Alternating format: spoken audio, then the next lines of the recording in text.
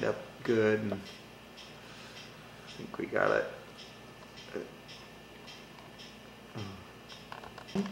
There it is.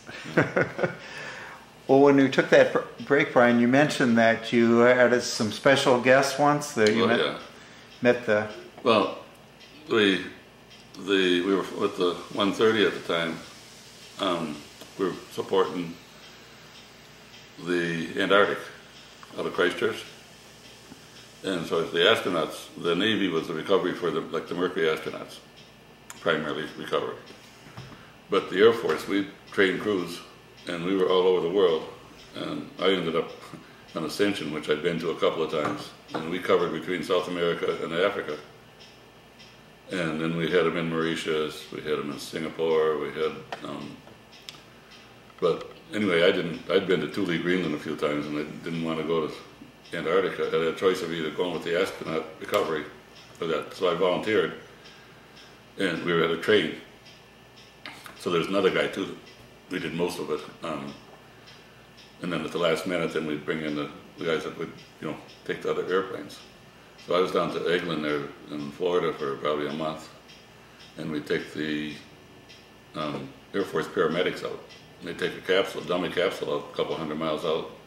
We go find it, and I'd dress these guys, put their scuba gear and chutes and stuff on them, and they'd jump out. And uh, then I'd sit in the tailgate of the back of the truck, the 130, you had the flotation collar that went around it. Too small, little like one man or two man rafts. And that'd be tools and a medical kit and stuff, food, you know. Because if they went down in the South Atlantic, you know, it'd take a while for somebody to get to them. And uh, so they'd, we'd throw that out at 150 feet above the deck. And you try to wrap it around, like, here's the capsule. And the wind is, you'd wrap it, they'd put it, the two small ones, the capsule, and the other two. And they're tied together, so they'd wrap right around. And then the, then you drop your paramedics. And those guys were good. They were experts in nine fields. And, you know, they were paramedics, mechanics, parachute guys, anything. Great bunch. So we did this for a while and really got it down. You know, they marked spots like you do in a, in a side window. And although they, they guided you in, I was on hot mic, I'd be on hot mic in the back and they'd be looking out, seeing the thing. They'd The capsule in the yeah, water? They'd see the capsule in the water because they'd nod their head one way and you'd go, you know, one degree left or two degrees right, you know, this stuff. And then they'd jump just like that. But, um, and it didn't make any difference what the wind was doing. We went out one night and it was, them seas had to be 10 feet high and blowing the top right off them, middle of the night. And we went up to 20,000 feet and I'd throw a couple of million candle powers out the back end, and flares, you know, and then we'd go back down. And, but then the astronauts would show up, and so we flew to Houston twice. I spent uh, a week at two different times out in Houston. And we went out there because they had different equipment, and they also wanted to see what was going to, who was going to pick them up. you know, I mean, if they got in trouble, it was a, you know, and see what was going on. So they get on the plane, and it was funny because all I had was a stack of wood pallets with a piece of plywood on it, and the, the flight mech ran a couple power cords out to this so they could have, they call it a, a SARA outfit, search and, uh, or search and locator deal anyway. And they were just improving on this to find the capsule. This is back in the early 60s, you know, so sort of primitive. So they're on the plane. I never gave it a thought. You meet them and you're working with them, and they'd go out and fly with us, and they'd see what I was doing, you know, putting the cap and putting the thing out, and they were offering advice or whatever, you know, what it was like, and the scuba guys. So we're all, the whole bunch, you all work together. The search and rescue team. No, this is the astronauts. Oh, the astronauts themselves. Yeah. Now, They would fly, they, well, they were in with us. We'd fly out to Houston, and what is it? I don't know, what is it, Bird Field? But anyway, the astronauts fly out. And just spend like a week or, you know, four or five days, whatever it be at the time. And we'd go out and then they'd make changes, you know, and back in and they're back out. And there was always four or five of them or three or four of them on the plane with us just. And uh, there was that original eight or ten astronauts. do you recall any of their names? No. Well, whoever was on the Mercury missions, you know. And because that's who was, that's who the ones were. And um, so that was, I wish I'd gotten some autographs or something. But there again, you do stuff like this, and it's your job. Never gave it a thought that it was anything that was other than a job. No, they were flying on the plane with you Yeah. to get to help you get acquainted with how to rescue them. from- Yeah, and just to see and change, you know, it was probably to reassure them too, you know, that, because this, like I said, the Navy had a, primarily was in the Pacific, and then they had another, um, they had an alternate route over there north of the Canaries, like between the Canaries and the Azores, someplace in that area, if I remember right, I've seen. But there were, any place in the world, we had a C-130 that could reach them within four hours Oh, okay. any place. And our planes over by like Singapore or Hong Kong, or well, we had one in Chile. Um, and I don't know if we might have had one out. They probably had uh, well wherever, wherever the you know they went around. And so when they were there was maybe for a while that we were in real high alert. We sat right in the airplanes with the G with the thing too and everything ready to go. And we tanked and we put an extra twenty six thousand pounds of fuel on board so we could, we were carrying like 90,000 pounds of fuel, so we could fly for a day and a half, you know. Because if you found them and you dropped it, you'd stay on station, you know, to, but it was all contingency. And fortunately, we never had to use it. They always come down, the Navy picked them up, you know, it was, that was great. So the, what you were doing, you'd, um, in the event they couldn't be picked up because of rough seas or something, you would, No, we were, we were there, say they came down off the coast of Argentina, okay, someplace there, you know, they just circled the south, you know, or whatever. And it, it might have happened, you know, and, uh, so all these orbits you could see on the maps, you know, where, and then they circled over Russia and they were over China. And like I said, our planes there, they, they, they didn't even hesitate. They just come out and told us, if that capsule comes down in your territory, there'll be a C-130 within a, a couple of hours right there, and you don't touch it, you don't do anything, and you definitely don't touch the airplane coming in. And then if they could land, of course they would have, but otherwise the paramedics would jump out and do their thing, you know, wouldn't need the flotation stuff, but. But that was just a contingency because it was, you know, it was so primitive, you know, just that, ca- well, you've seen the capsules, you know, I mean, it was, um, and if something malfunctioned or functioned too good, when they pushed the, one of them little jet streams on there, they either could go two thousand miles out of the way, one way or the other, you know. So, mm-hmm, mm-hmm. so that was, it was like I said, that, that was just there again. It was, it was a job. Mm-hmm. And I'm, I don't know which ones I met. I mean, I, because my flight orders don't show that. It just shows, you know. But that, and then and it was to, partly to reassure, reassure them that you'd be there in a contingency, that's why the astronauts flew with you. well, yeah, that and and just for their ideas, Yes. you know, because we were, we were cargo haulers and we oh, dropped I dropped thousands of paratroopers. You know, you drop 80 at a time, four or five a day. You know, loads a day. You drop a couple, 300, 400 a day sometimes. Mm-hmm. So we knew how to drop, airdrop, and cargo, and different ways of doing it, low level, you know. So that wasn't the deal. The deal was you have to put these paramedics out in that capsule out in the middle of the ocean, and it didn't make any difference if you know the army won't drop if it's over 10, to 12 miles an hour wind. We put these guys out in gale winds, these Air Force guys. They said we can't pick a nice day if it's windy. We can't say no. Leave them, leave them float down there for a couple of days, you know. So they they they really practiced, and they were good. I was impressed with them. The paramedics. Yeah. The Air Force. They were they were like before the Green Berets or before any special forces. The Air, the Air Force had them in the fifties and stuff. But um, one other short one. Um, when we left Yemen and we flew back, back to um, actually left Saudi Arabia Beirut. Well, we flew back to the States, so I picked up, I don't know, that's, that was maybe 30 hours of flying time, 30, 35 hours, whatever, Beirut back to the ZI. So they'd have a volunteer crew out over Christmas. And single guys would always sign up. So the married guys could be home with their wives and kids. And uh, so I signed up for it, and it was like the 5th of May. And the, the, the uh, run to Pakistan up to Peshawar, where Gary Powers, you know, the guy got shot down. The U two pilot. Yeah. Anyway, that was the run that I had to get, get on, you know, and uh, not a very particularly a good run because you're in Turkey and Pakistan, but it was what the hell's run. And uh, so I couldn't even fly because I needed like 70 hours, and you can only fly 120 a month at 330 in three months. So I was pushing my 120 hours flying time with getting back to the states in the first of May, and then with this thing for a round trip, and. Uh, So we get over there, and of course, back we spend the, had to spend the night there again in the civilian clothes bit. Normally, we could stay at a pretty decent hotel in Karachi, but because it was Christmas Eve, we had to stay right in the embassy compound because you know the Marine Guards and everything like this. Just because of there wasn't really any hostility, but you know animosity. You didn't. You weren't an American walking around on a Christian holiday, mm-hmm. or you know. So we went up to Peshawar the next day, Christmas Day, and uh, had a load, just a load of stuff. You you have food and you know vegetables, perishables, whatever. You know, and uh, unloaded, and they said, "Hey, you've got a trailer over here." It was like about a 32 foot semi trailer, and. Uh, can you haul that? I said, well, I don't know what, why. Well, it's really important. You got to get out of here. So they talked to the pilot and aircraft commander, and he come over and he said, yeah. He said, Brian. He said, what do you think? Or BJ, they called me. I said, hey, what do you think? Can you haul that thing? I, so I went over and I was looking at it, and there was an old master sergeant there by it and stuff. And I said, what's it? What is it?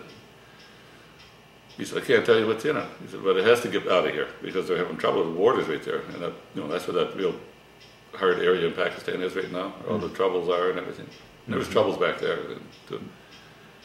So there was an old CG marked on it, a circle with an X in it, you know, with the center of gravity. So I said, well, is that pretty, is that accurate?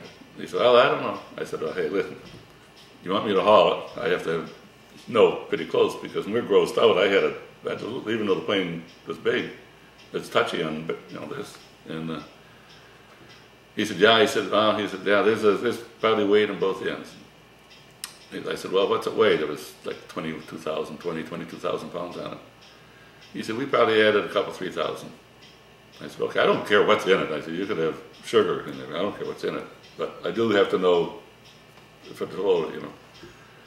So anyway, he said, yeah. I said, okay. I said, I can fly it. I can haul it. So pilot said, we had a load of stuff. So we run this stuff back down to Karachi then they'd ship it out of there in boat, you know, or something like that. Flew back up to Peshawar, and they had they got roller conveyors from the mess hall, little dinky ones, and they had big heavy duty ones, and I had maintenance guys and I had cooks because they don't have a load crew there. You know, it's just a it was a spook a spook base. They had the U2s and the RB 57s and stuff there. All spy. All spy stuff. Mm-hmm. And uh, so anyway, they loaded it all up, and I got it right. And pilot comes out, hands me a can of beer. And he said, how do you know for sure? Well, he already knew because we joked about this before. They put a can of beer right under the front crew door, and when that just barely touched the top, the plane was perfectly balanced. not, not copacetic, but you can fake it. And uh, so anyway, I did that, and then I had them jump up and down the back. The, all these guys to get it to rock a little, see how it stabilized, you know. But what I didn't realize was the wheels then they, they put the wheels on the ramp, you know, that slopes up on the back of the plane. So anyway, I chained it down. I had all the 25,000 pound chains, and we, I mean, I could chain, this, you could really chain stuff. So, pilot, he's back, he's back out there, and I'm having a couple of these guys, they knew what I, they knew what doing, you know, when I was doing it, but they were tying it down and everything. So he says, well, what do you think? I said, I'll sit in front of it. He said, if you sit in front of it, I'll fly it. I said, okay. so we take off, and we're just a little bit tail heavy. Not, I mean, not not bad. So when we got down to Karachi, I just moved it forward about two inches. That's all it took, you know. Swing it on into Germany, same damn thing again. You know, I thought about getting written up, and uh, we pulls in there, and they just backed a 40-foot flatbed up to the back end. You know, I dropped the ramp on, and they had a winch on it, and so they pulled the tires and they skidded this thing off. And there again, there's another one of these damn E8s, big, you know, from Washington wants to know over my manifest is. I didn't have one. What you waiting down? I said, well, this is pretty, this is about it. You know, how do you know this is it? He's looking at this trailer, you know, spray painted. There's not, I mean, it, he knows it's not, it's not a current, you know. So then if I didn't get written up again, get back, another letter from the, whoever it was that was in charge of these five plane flights, you know. Crew get another letter of them thanking us for the job done, you know. So mm. that, then I get promoted the average staff sergeant made it in somewhere between seven and nine years, and I made it in a little over three. And wow. every time I got in trouble, I got promoted. Wow! you know, well, because it's you know we did stuff. It was a special, special request mission and broke the regulations, but helped Yeah, out. Yeah, well, you had to to do it because that was our job, you know. Mm-hmm. And our line pilots, we didn't have any trouble with our line pilots. You know, these guys are up and up to the 30, 32 years old. You get into maybe a colonel or something like that, he might be, he's looking at his back a little bit. He might want to cover it. But the other guy did. You went in, you wanted to load up, didn't care what you were loading. Now load it, they'd fly it, you know, that was it. Now, did you ever speculate on what was in that trailer? No, just electronic gear, I'm sure, mm-hmm. because they were still flying the U-2s. They even they'd have been shot down already, but they were still flying the U-2s and the RB-57s. That was the B-57 they converted to. And these now you see these big 747 jet engines. At the time, the 707 engine, you know, was yay big. They had those engines and that were bigger than that window on the B on the U-2 and on these RB-57s that they reconnaissance that's you know that they had converted to um, fly reconnaissance missions. And the RB-57 would do almost as high as the U-2, and uh, but they'd take off from there and they'd have to fly south in Pakistan to get up to 70,000 feet or so, and then turn run over Russia and land over in Sweden. Mm. You know, and take pictures in the way. Very fun. But that was some of the stuff. There's a lot of routine stuff. Mm-hmm. A lot of work. A lot of fun. Mm-hmm. Different countries. Mm-hmm. 50 some countries I get into. Well, you can see just Yes. some of them enlisting in Yes. around Bangkok, um, Tokyo, got all stuff over there during Vietnam, you know, engines and sparks and different things. Fun. Almost stayed in, but there was some conflicts and I didn't. P- Conflicts uh, with. At home here, and stuff, little things were going on, and yeah, hell, if I stayed in, I was staff sergeant, and I had orders direct from headquarters, from Air Force, by name. They're going to ship the first squadron one uh, 130s over to Vietnam, and I was already an instructor. And there was another guy that just he, he probably five six years. He was just a little more than me, and he would have been the NCOIC in charge and I would have been in charge of instructing and you know that part of training and instruction. And as soon as I put my foot there, they had a written letter. The job called for master sergeants, both jobs, and the Air Force fills them with can fill them with one rank less. You know, if they didn't have a master sergeant to do at a time. So they guaranteed me tech sergeant. So I would have been in the Air Force four and a half years, and would have been tech sergeant. Hmm. And hell, there's guys retire with that, you know. Hmm. But maybe I wouldn't have come out of Vietnam either. Hmm. You know, but that wasn't the reason I got out. It was just there was different things that were going on at the time. So, about what year d- did you get out then? It's the end of '64, August, end of August '64. I just in the four years, just had 2,000 hours flying time in that. And, oh, another, you know, a few other airplanes too. But And when when you got out, wh- where did you where did you come to then? then I went to Grand Rapids. I said, stayed with one of my sisters. I thought I'll try a little college, and picked up a job, and uh, which was dumb. I was making about 500 with my flight pay in the Air Force. And I took a job for 100 a week when I got out. And then I went, and I went driving truck with Richie. I drove there for seven years, and There at Dominion, went on down, you know. Then I went to, We're driving truck where now? oh, just a laundry truck all over Western Michigan. Okay, We had all the Kroger stores and all the Spartan stores under contract, and With- aprons and towels and with Richie Gillespie, no, Richie O'Donnell. Richie O'Donnell. Okay. And one of the drivers got hurt, and he knew I was looking for better pay, you know. And I'd always I was bonded anyway and stuff, and so I went there.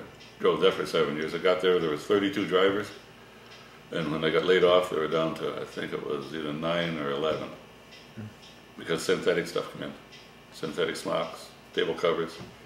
Restaurants quit using cloth napkins and cloth table covers and the fancy banquet covers, and that was one of our main, that was our main business. And uh, as they, as the guys retired, they just never filled them in and never did and never did, you know. And so seven years later, I, I was on that. Then I went to Steelcase a year and a half and got a, the big layoff there, 75 I think it was. What were you doing for Steelcase? I just worked the shipping department. Mm-hmm. I was in shipping and file, file shipping. Mm-hmm. And then I, when I left there, I got well, I laid off from there. And of course, the Steelcase always called, called back back then, you know, back in the seventies, and I couldn't get a job. I was working three job's two fifty an hour as bartending on the weekends for the AMVets, because they wanted a guy there, you know, Friday and Saturday nights. Mowing grass for another guy for two fifty an hour. And then I was working for Larry McDonough, janitor work at the school. He was the treasurer in charge of the St. Alphonsus there, Oh, Where was this at? Uh, Grand Rapids. Grand Rapids, okay. So I was picking up a little money there.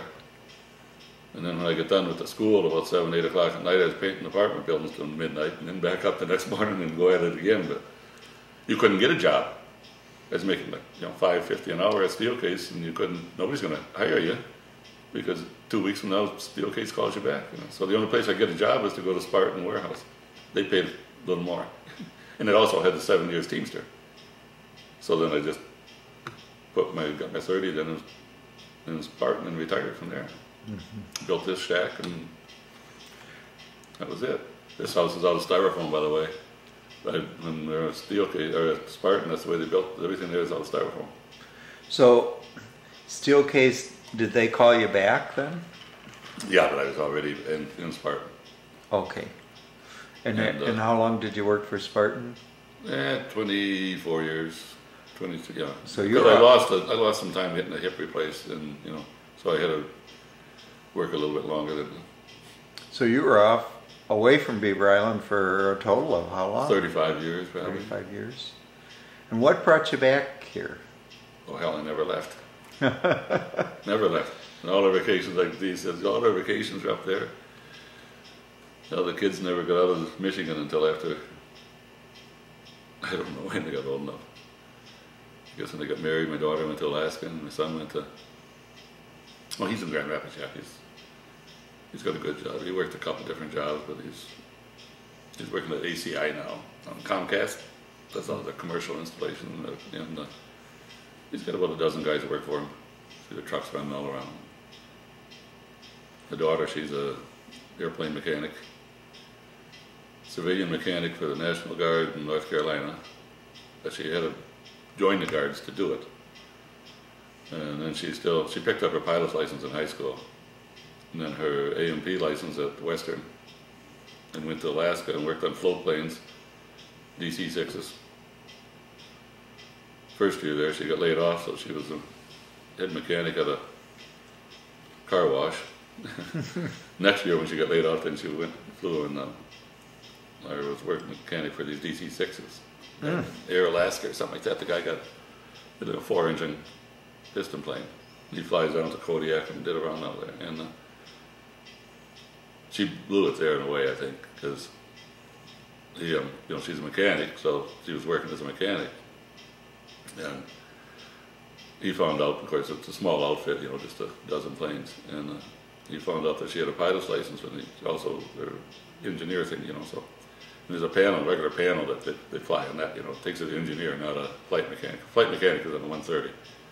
I could fly it. Any crew member can handle the flight. Flight mechanic get drunk or something like that. I could handle it because all you did was flip a couple fuel switches, and there was some T handles. You know, if you had a fire, you just pulled this handle. So that was.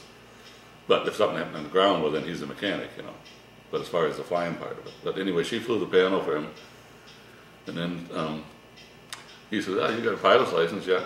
Well, here, why don't you jump in the right seat?" So anyway, he put her he put her in the right seat on a couple trips, just you know and she you handle the gear, you handle radio communications, you know, you do some switching stuff, you know, regular co-pilot. And uh, he said, "Hey, Kathy," he said, "You stick with me." He said, "You'll have your commercial, four-engine commercial in a year," which would have been, he was anyway, you know. But this Boodler she's married to, they took their motorcycles and shipped them to Anchorage, right down from Anchorage, you know, down to Seattle rode down through California with them and over through Reno or Vegas, I guess it was. And ran into a sleet storm in northern Arizona, and I, and I told her, I said, when we got to Seattle, I talked, I said, rent a little you rent a thing, put your bikes in there. Oh no, Dad, this would be nice. And it would be, you know, what the hell, young, you know. But when they ran into bad weather, they, they rented a you rented, put their bikes in there and drove it to North Carolina. You know, for some reason or other, they wanted to go there. So she did good. She worked at IBM for a little while, and then she got into the, she got this job then that she wanted, the mechanic, yeah. But now she's got her instrument rating, she's got her IA, um, uh, she can sign off any airplane made or grounded. And she's, right now, she's just picking up her commercial license. But she's, uh, she's flying a brand new Diamond, about two hundred and eighty thousand dollar airplane, getting her instrument ready. You know, it's got the new flat screens, you know, with the, the new instrument type stuff. It's funny, she called her last year when she got it. She had, she had a run to, in the middle of the night in instrument time. I think she ran over to Myrtle Beach and over to Columbia, South Carolina. So she's coming into Columbia, the uh, controller, you know, it's nasty weather, and she's it is it was real it was real instrument time. It wasn't you know under the hood. She's and uh, so he calls to I don't know what it was seven thirty seven coming in behind her sort of and uh, whatever outfit it was, you know Delta such and such or whatever he said. He says. Uh, you want to slow down a little bit? He says, I got a girl with a diamond up ahead of you. He says, she's she's not quite your speed. And Kathy said, I damn near told him I could go that fast. This but, you know, she was the head of him, you know, coming in on this instrument approach. And she's ferried a couple airplanes and from like, you know, North Carolina to Oklahoma and stuff like that. Just little pickup. And you know, you can see her picture up there. That's her. And the, uh, with the uniform on, and that's her next to it with the Oh, yes, I, I didn't see that. Thirty some pounds, and you know, she likes it. And She said, "I go to work for my hobby." Runs in the family then, came right down from you. Well, when did, when did you meet Dee then and where? And Your I, wife? well, yeah, well, in Grand Rapids. Grand Rapids? Went to had to fly to Chicago. I was doing some bill collect, commercial bill collecting, and they had some kind of a convention going on around St. Patrick's time. And uh, so the boss flew down. There was like a that was the big headquarters for the Western, you know, the area like that. Grand Rapids, um, it was I was a, what, I forget the initials now. Anyway, it was like a Dun and Brad, a commercial version of Dun and Brad. We did credit reports some places. They'd have a group, say all the plumbing and suppliers would meet once a month and they discuss this and you keep building habits. They, we had a note, we had a part of our outfit um, would liquidate or a place go bankrupt. We'd send the guy, we'd send our crew in to get him out of bankruptcy. A couple, three of them there. I remember one guy, we made him sell his airplane. Nice twin engine airplane. He had a, a hot secretary balanced that airplane right out, you know, got rid of the secretary, get rid of the airplane, and we gave him his groceries. He lived in East Grand Rapids. Made his house payment and gave him so much money for groceries, and that was it. Hmm. With the stipulation he couldn't even build, go to the building for a year. Mm-hmm. And we brought it brought it out of bankruptcy, and of course all the creditors, because they're business, you know, that's what we were. We tried to get our members their money back mm-hmm. instead of getting you know ten cents on the dollar, and they did. They got it right out, and that. But some of it was interesting. So how did you and Dee meet Well, then? I, I flew. I went down. I flew down like on a Thursday, and then caught you know the you know Friday and Saturday, and when I come back, of course, I picked up a case of booze or something. I had some Irish whiskey, and I knew that a bunch of friends of ours were um, having a St. Patrick's Day party. So we flew in. I, so I grabbed the jug and went on over there, and she was making some salads or doing something like that. And she was looking pretty good. And one thing led to another, and that was it. Now, now she, just a little background on her, her connection with the island, her family. She knew some friends. That was it. Friends that she was at. Okay. Marie Garcia was married to, and she married a guy from here, and different people. Um, they all went to school. Some of these, these were the nurses that were having a party, like Joy Green, you know, stuff. It was, well, she wasn't there, but there was the people that they graduated with, you know. There was a bunch of them that used to stick together, you know, get together like that. Lil Cole, Donald Cole's wife, Yeah. um, Ellen Kuligowski, you know, she was one of them. Um, So was Dee a nurse too? no, Okay. she was a sec- secretary, executive secretary. But she, she hung out with some Beaver Island, Yeah. Their nurses, and, and that was her only connection. Yeah, had never been to the island. Okay. Well, then she went to Detroit. I was sparking her for about a year, but I wasn't looking for that ring yet. And of course, she went to Detroit. Well, then you know how then I started going down there. Well, then that changed she had a good job at Alcoa, real good job. And she she was the uh, exec for Dada, um, Detroit area Automobile Association. You know, they're, they're auto, geez, they must have a hundred dealers in there, you know. But she came back to Grand Rapids and got married and that was it. Picked up a couple of part-time jobs and then when the kids got, got in high school, she didn't work when her first married for, well, till after they were in high school. And, uh, she started out with a part-time, you know, but the kids were working part-time. They both went to Catholic, St. John Vianney and Catholic Central and worked janitor work over at school and different things, you know. No problem. They're good workers. A Few gray hairs, but that happens. they didn't get in jail. so they're both very, hey, if they're doing good and I'm doing good and, and they come back here. But we came up here all every summer. Hell, we rented, you know, the hill there at Archie's, you know, uh, at Archie's places there. We rented there for 30 years.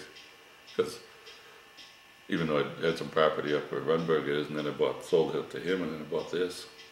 But, um, What year did you buy this property? and let's see, we built in '98, so I probably bought it in '94 maybe. So wh- when you say you never left the island, No, I always liked back. I made every. I, I went something like 28 St. Patrick's Time and never missed one. Oh wow, You never missed a funeral or a wedding or you know vacations, and we worked four day weeks at Spartan, so you could switch. You work Sunday to Wednesday one week and Tuesday to Friday the next or something like that. So you have a pop a four day weekend. You know, you could shoot up here pretty easy. Now, how did how did your your bride like Beaver Island when she you first brought her out here? Mm-hmm. He liked it. Yeah. And you get get to know the people because you know around all Janet and both my sisters lived in Grand Rapids there. Janet O'Donnell and who else? Eleanor McDonough. Eleanor McDonough. She's got the place in Charlevoix now. Her husband died a couple of years ago, so she's got her parents' old house over there. So what what was the island like like back then when you when you when you came back? Um, you rented first, right? Oh yeah, I've been for years.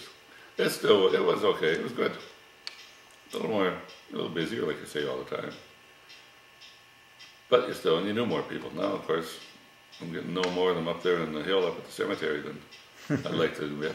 but uh, no, we still, like I say, we got four of us. Nine of us graduated in '59. Having our 50th little party here in July, and uh, Who were those? four nine? of us, four of us live here. Who are those Yeah. nine that graduated together? Okay, well, Eleanor Mooney, Ladonis's wife, and Beverly Cantwell now, you know, well, you know, that's Richie's sister, by the way, you know, the there. And myself, and Loretta Lafreniere, Loretta Slater. All four of us live here. Then we have Caroline Kamlavakis. She was Johnny Paul's sister, next one under Johnny, or in, you know, my class. And Jeannie Lafreniere lived next to where Archie Lafreniere's place is. And Sally Martin, she would be Margie Martin's, Margie up at the, the old convent there. Be little Ernie's aunt. And, um, let's see, who Jeannie and Sally and Caroline. Oh, Gary McDonough. His mother just died, but he lives in Florida. He, he retired from GM. He's down there. So pretty much retired. Caroline, she married a real nice guy. He was the, well, he started off as a mechanic for the school district, just the county just south of Traverse City. And God, he was running it years and years ago. You know, he was the, the head guy running the, you know, he knew stuff. He knew engines, knew, you know, nice guy. So that worked out good. Now they spend their, I think they spend their summers over there someplace. And they get back here once in a while. They got a, something in Florida. So the whole bunch is pretty, you know, worked pretty good. Sally's got this damn um, Hodgkin's chorea stuff. You know, it's in that family bit. Nasty. Nice girl. She could ice skate. She was a good ice skater. To the fancy stuff, you know. We skated out one time. I think it was um, Kenny and Gary and myself. February. And when it, the, just like I was just had one of them two week old or week old ice, you know, where it froze, be thick. And we went out after school, and it was we're, cold. we're out in the Out of the, just ice skating out towards Harbor? Like, uh, yeah, like towards Grays Reef, or not Grays Reef, towards um, Skillagalee. And uh, we got out there, and beautiful. Just and it's just like shotguns going off with the ice cracking. You know, when it's freezing, that when it's you know like zero. And of course, they're probably 16 years old. I mean, what the hell? And uh, well, skates, and we weren't experts, but we all were, we started skating, you know. Now you never see a kid out here. Sunday afternoon, nobody knows how to skate. But anyway, they all watching them damn TV. But um, we get out there, and finally one of us had enough brains. I don't know who. I ain't going to take the credit because we looked around, and here the island was just a little bit of a smudge like this. and the mainland looks like from here to Garden Island, you know. So one of us had enough brains to say maybe we better, you know, we got good sharp skates and like that. I mean, and not a, there wasn't a drop of snow or nothing. It's just like skating on a groomed rink, you know, except for the pressure of the cracks. One of us finally had enough brains to turn around and come back. now you were 16 when you Probably about yeah. so you you kept you've kept pretty close you expect to see all nine of them when uh, Well, Aidan Kenny, uh, you know, Kenny died in Texas. The guy that was in the Navy and the, uh, he died from cancer in Texas here a couple years ago. okay and Good that's that's your whole that was probably the whole graduating class Oh, then, yeah. right Yeah. Back in the freshman year, I was the only only boy. Gary was in the seminary, and Kenny was a grade ahead of us, so I was the only boy. So. what other exploits did you have together with that group Uh, well, when the Bradley went down, I flew with a guy named Don Hanson. He was a pilot, flew oil people from Alma down to Texas and around. He's coming here all the time. He had a nice 180, Cessna 180. And the first day the Bradley went down, we listened to it all that night on tran we had a transoceanic. In fact, I got the radio in the basement now. Um,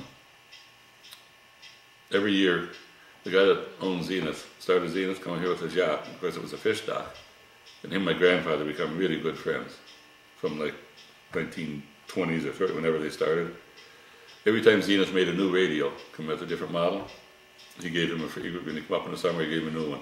There was Zenith radios with their eyes and everything all over. And I got the last one, um, it says made expressly for and stolen from Jim Gallagher, James Gallagher. That's my grandfather's name. But no Zenith, you know, but anyway, we listened to it all night. We could hear them, the search and stuff. And Another uncle of mine, Jack Copen's in Charlevoix. He's going to have his 90th birthday here this fall. He was the exec on the Sundew, and when the call came in, he just took off with the Sundew. He, he took the Sundew out with a half a crew. Mm. And the indicator, you know, that tells when it's rolling, it was pegging at both sides.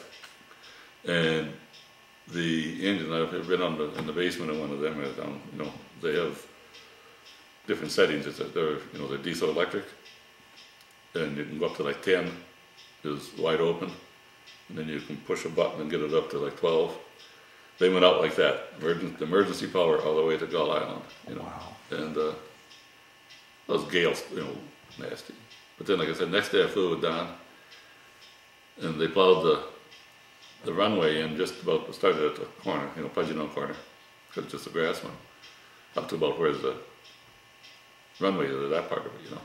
And uh, there was just slush and a dip. And we took in, uh, as we're getting close to it, the Bradley no, no, to the, we, we searched all the islands. We spent that first day all just flying around the island, looking for the islands, you know.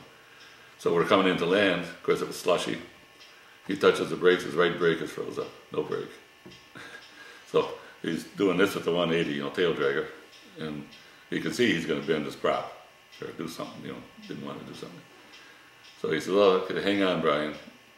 And we're getting about from here to the, um, the water, whatever it is. And uh, he just hit the rudder the other way, goosed it and set the one brake like that, flipped it, made a ground loop, flipped it right around and goosed it. We literally backed up and stopped like that. I thought that was some pretty cool flying. wow But I used to fly all the time with Joe with us on skis. We'd run over the other end, we'd check and see how the, mm-hmm. you know, always in the airplanes when they're, because we hold all the mail, the freight from the airplane. So I was in them. He'd, he'd have two loads to do. I'd jump in with him and I'd handle the plane when I was 12 years old on the way back to Charlevoix or something. So I did get interested in the Air Force stuff, I guess, like that. You would actually handle a plane at 12 years. Oh, yeah, so you just flip it over into 195, you know, it's a crossover. You want to take a run? Yeah, okay, I, not good, I'm sure, but he just, but then the next day we took Johnny Paw, had a uh, Model A pickup. We all had Model A's, I told you this the other day, but not all of us, but six, seven of us had Model A's. So we went over, the, they were in the bodies over the Coast Guard station, so we went over there and picked up a map. And, uh, and Kenny, with us, Kenny McDonald, the guy that died in Texas, he was, you know, but anyway, um, we jumped in Donegal Bay and went up to Iron Ore Bay on the beach with the map, and we we find something, we just mark it, you know, because they're trying to get a drift pattern for the bodies or survivors. And uh, then we come back, you know, and dropped it off over. But all those guys that come in, the bodies that were getting around the fetal position. Oh, really? And the guy, the two guys survived. One guy lived between Charlevoix and Petoskey. Dad knew him quite well. He said they started off with more than that on the raft. It just wasn't not a you know, floating type thing. But it was so nice, it was just a nasty night, you can imagine. And the water felt warm to him, which it would. You know, the water was what 35 degrees, and the air was you know 15 with sleep. They said, "I'm just going to get in here and get warm," and that'd be it, drift right away. So two of them did hang on. Wow. survived, you know, out of the. But we could hear them when they were breaking up, and we could hear the whole. We could listen all that night to the Transoceanic after supper, you know, just on the channel what, Could you 26 or something. hear the radio of the Carl Yeah. Bradley before they went down? Uh, radioed in. She's breaking away or bending away. I forget what it was. They said it was, a, you know, whatever. And when you flew away. flew out with who was the pilot again that you flew Oh, out? Don Hanson. Don Hansen. Yeah. When you flew out, the goal of that flight was what? We flew all the islands, all the shores, shore, all, all around the shore. To look for survivors. to survivors or anything that would, you know, be anything. Mm-hmm. And I was what 16 at the time, 17 maybe, 16, 17, Did did you know at that time the location of where the Bradley was? approximate. Okay. And did you find anything in that flight? No, no, not that I remember. No. Mm-hmm. Of course, the, the thing that I remember most was that landing. I thought that was that was absolutely great. Yes. Frozen brake and 180. you know, and- yeah, and then after and running out of runway, you know, running, and like I said, he didn't want to bend the prop, you know, bend whatever you could have bend. Now the next day, well, I don't know if it was the next day or not, but you mentioned that the bodies started washing. Well, that first, yeah, even that first day, they were picking some up. did and you the act- second day when that, we went over to the Coast Guard station, yeah, they had the they had the boats. They brought in the boats, you know, smaller boats and the forty footer stuff, and there might even been some private boats. I'm not sure. I don't remember, but they they were consolidating at the Coast Guard station anyway. I see. But they were bringing the bodies in. You could see them bringing them in, you know, and they, like I say, they'd be in the fetal position, you know. Hmm. For I don't think they got them all. I, I don't know how many there was, but there was enough that you know this is what this is what they went into. And obviously, when they froze to death, or when they drowned and froze to death, they're both. A combination, I imagine. Mm-hmm. That's bad.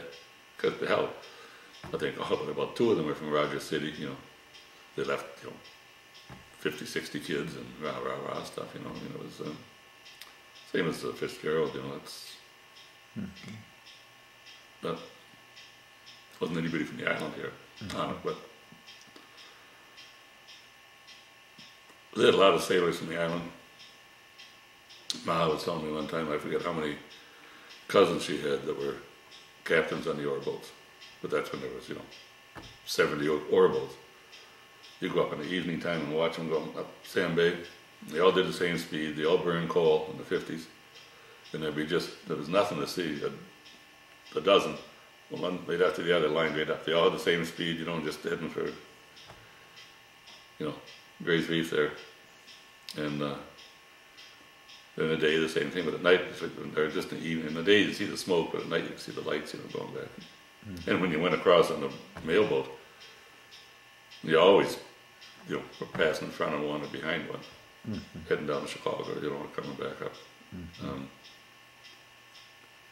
But there was an awful lot of guys. We and we, when we put up ice here, our whole crew pretty much would be, you know, we'd have they had to have eight, ten guys down there. You know, they all were sailors that would just they'd be home for the winter. You know, they lay the boats up the first of December and go back in March. You know, unless a guy had the lucked out to get the job for the winter, staying on the boat. You know, just sort of keep an eye on things. But like I said, Ray Call, Claire Call's husband, he always ran what we called the jack. That was we we had a movable thing to when you put the ice up in the ice house, you know, the ramps there and everything. But you walked alongside and it was just a little plank. I don't know. so you'd pull the um, ice up, these ice cakes, up to the foot of the thing, and uh, then you had a team of horses. Some guy driving a team. I'd say one of the guys that maybe I don't know who it would be, Don Burke, one of the sailors, you know, something like that. He'd have the team, and uh, then they use a team to pull these, pull probably four of these blocks, three, four of these blocks up. But Ray would be the guy behind with this, what they call a jack. He made a like a two by twelve plank with a bunch of spikes through it, and then had a big handle, you know, to guide the. Then you hook on behind him. You'll keep on skidding it up, and then there'll be two, three guys up in the ice house itself. You have these big ice tongs, you know, skid it around, and then they jam them right tight together. So it was like one solid block of ice, probably 15 feet high. Well, there's a picture of the ice house right there. Hmm. And we, they put it right up to the eaves. So you can see it, you can imagine how much, how many tons and tons of ice would be in there, these 500 pound cakes. And that that was to supply the whole island all Um, summer. yeah, or- well, in the, in the 40s, there was, you know, probably most of 90% of them, and there wasn't that many refrigerators in. And in the 50s, you got more, but the people still, them old refrigerators, there weren't much size to them or anything.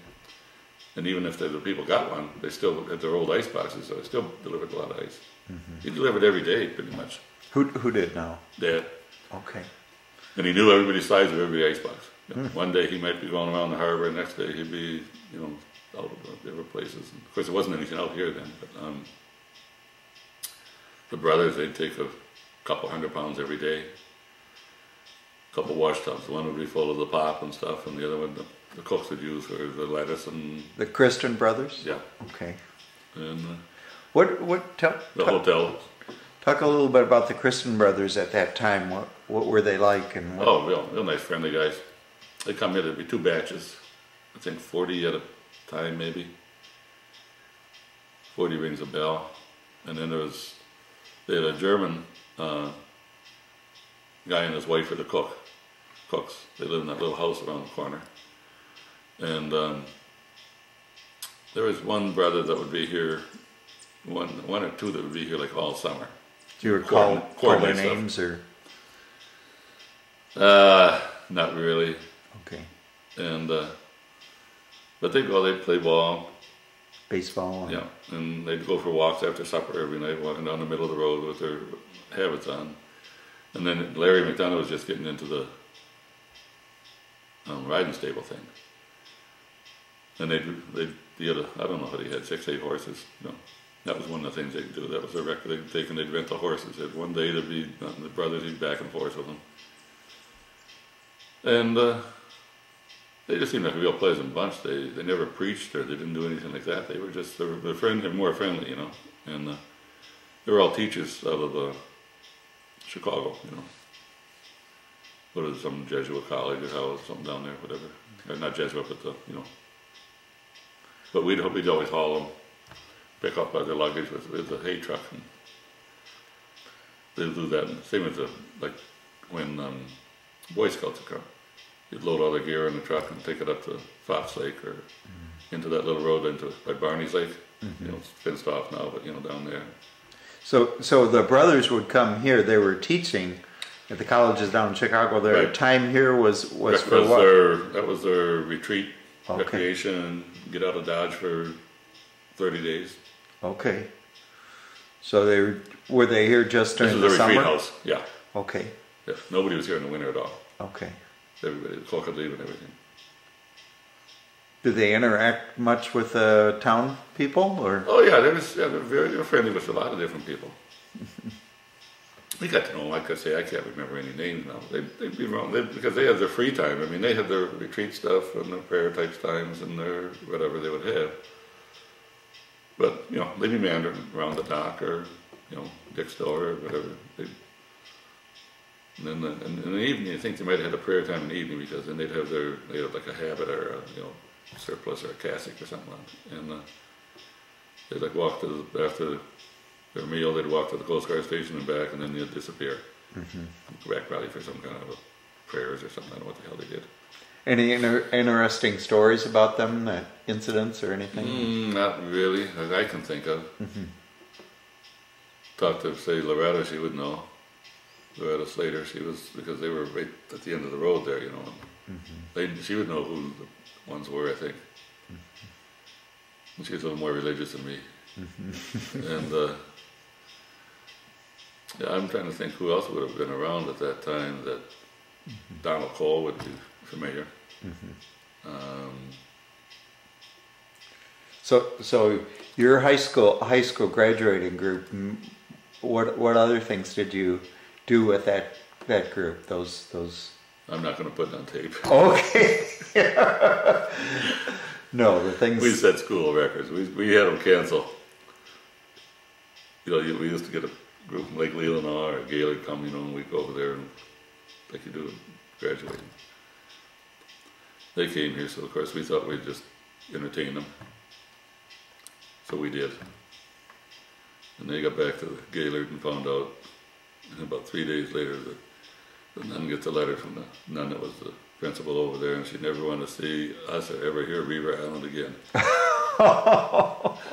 You know, we did fun as something. They had Lloyd's cabins up there, you know, a bunch of the cabins like that. And of course, the chaperones were in one, and the kids were in one like this. So Gary and I and a couple of we just showed up. You know, we might have had a, some refreshments for them and that, and until about five in the morning. You know, then the poor kids get on the boat.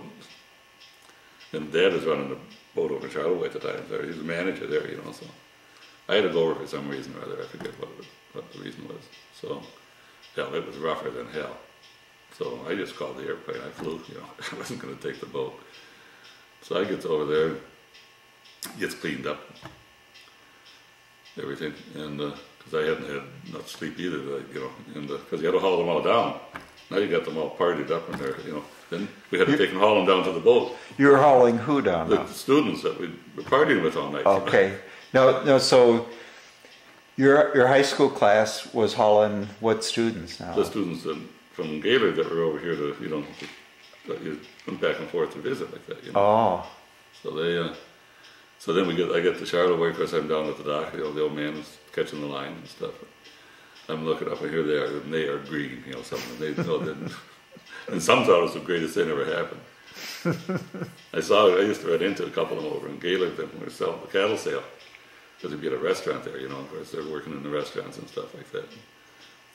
It was, uh, yeah, thought I was in love with this one, but she was pretty rich, so that didn't help any It's for the night. But we'd have a dance, you know, food and a dance, and, and of course it got carried away a little bit after that. So. didn't, it didn't. We, I mean, there's not, no harm, nothing done, or No. nothing like that. No. It was just innocent. We thought it was just normal, innocent stuff. I mean, what the hell? what about the the music? Speaking of the dance, who played music at that time around here? Uh, it would have been Jewel Gillespie and Pat Bonner and Walter McCauley. Um, maybe Robert Palmer, Edward's brother, or, or Russell, that was one of the you know one of the Palmer guys or something. Um, there's a lot of people. They all, a lot of them can make music. It's family type stuff. You know what I mean? They Jules, um, Rita, Mary's mother. She, and Mary can sing. Mary Palmer if you could ever get her to sing. And Richie Gillespie's a good singer. If you ever get him to sing. He used to, you know, 20 years ago, him and Rich Scripps, I forget what the name they had, how they played. And Richie could sing as good as anybody you ever heard. But Jules' wife, she could sing too. She was a real good singer. What kind of music were they? Just the regular stuff that you hear on on the tapes, you know, the country type or whatever you want to call it. Were there were any anybody left that actually did any step dance? Well, the Doney guys who just buried Peter Doney's uh, wife here a couple of weeks ago. Uh, my uncle, Uncle Joe, Barry or Gallagher. And Uncle John, he lived right where Kay Massini is. He was he was a big guy, you know, like not quite like me, but you know, big guy. And uh, he was as light on his feet as you could. You couldn't imagine a guy that size could be as light on his feet and step dance. Mm. Um, the Donny guys, of course, Peter and Patsy, they used to always try to outdo each other. Patsy, Peter, and Patsy worked for me. Best worker I had. But Peter and Lester would, you know, they get up to, the two of them get up trying to outdo the other guy. There was a little friendly rivalry, hmm which was good. But could you describe like uh, typical party night or something where they'd play, be playing Yeah, they music? played the music. They had the chairs sitting all around the hall, outside. The parish table hall? Set, yeah, wouldn't have any table set up unless it was a dinner or a a wedding, you know. So here you are, you're out there, you're trying to dance, and you got everybody in the island, all these old women standing there watching you, you know, so you're not really doing too much dancing. Jack Call would set up a table right outside there, right around the corner by Massini's. And uh, have a keg of beer out there. And uh, because it wasn't, the bar wasn't in the, in fact, the kitchen was where the bar is now. And where the kitchen is was the high school. That's what they, you know, the, There at the parish hall? yeah. Okay. And then when they finally quit using that, then they made that into a little library too, like in 1960 when they first started to put that other stuff on. So they, they, they wouldn't have any alcohol in the parish hall? They'd have it, the cake sitting on a table outside? Yeah, just a table thing there. And, And, and then, so continue with that scene? well, that'd be it. And they'd just play the music. And Outside. Some, there's some good waltz, waltzer. People could waltz good, you know, back some of the older people I remember. Square dances. I could, I even knew how to square dance. And, uh, not good by any means, but you know, that was one of the things that you did. And, uh, there'd be somebody I forget who called the square dances. Uncle John did, I know. Uncle John could call the square dance. That'd be, you know, Kay's grandfather. Uncle John, last name? Uncle John Gallagher. Gallagher. Yeah. And what, Bowery. Bowery, okay. And, and the step dancing, would there be, dan- who would be playing to, to- for the step dance? oh, that'd be, you know, Jewel and Pat, and they just liven it up, you know, turkey in the straw or something like that, whatever Okay. Remember any other songs that they'd play, or? No, but everybody, the whole family would be there. See, play things like that went on, the family would be there till, well, maybe then you ship the little ones home, but the families were involved in all that kind of stuff. The, Ga- the Gillespie? get-togethers. No, no, I meant, um, say you had three kids, you know, Mm-hmm. you went with your three kids, might one fall asleep, is three years old, and the other finally, you know, they run them home or something like that. I see. It wouldn't be just, you have to be eighteen to go in here, Okay, be the whole family. sure. Which would be, you know, pretty neat. Yeah, that's gr- great. Otherwise, like I say, it was, it was a good time. A good time going out there. Like I say, we're running Model A's, you're riding horses, skiing behind the horses, skiing behind the Model A's, whatever, or cars. Sliding down the hill. You don't even see. They, after as soon as supper time hit, Jewel put out a set of saw horses up by the church and up by the museum. And see the road, you know, it gets in the winter packed down and, you know, and you'd be sliding downhill there till 10 o'clock at night. Kids don't even know what a sleigh looks like, you know? And uh, sliding down like where the rectory is, there, where the, yeah, where the, um, actually there was a tennis court where the rectory, where the, uh, where the church is.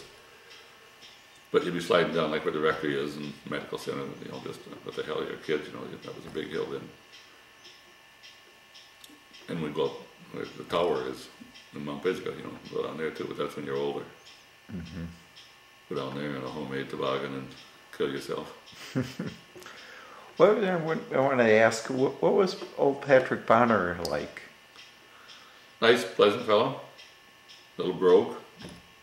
Um, He had a little had one brogue. eye, He had a little brogue, huh? yeah, one eye, had a little, yeah, different accent, you know, and everything. And a lot of the guys did. And uh, I don't know what's going on. We got these seagulls are swarming all over. Must be some kitty dads coming in or something. but they, uh, no, he was nice. Just nice, regular, pleasant guy. He had the farm up there. Otherwise, uh, Was he the only fiddler at that time, or? yeah. Um, I don't know. McCain Strain might have done a little fiddling, but I can't think of the right now. Um, anyway, yeah, he pretty much. I think he pretty much. And Jewel played the guitar, and the uh, he played the steel to the the Hawaiian guitar. Okay. He played that really good. You know the where you run the thing up. And Walter McCauley, he was just out of school, maybe sailing a little bit at the time or going to college. Uh, and yeah, no, it was just whoever was. There never seemed to be any shortage of people. Now that what, could what, play? There was somebody played an accordion. I can't remember who that was. What did Walter Macaulay play? Guitar. Guitar.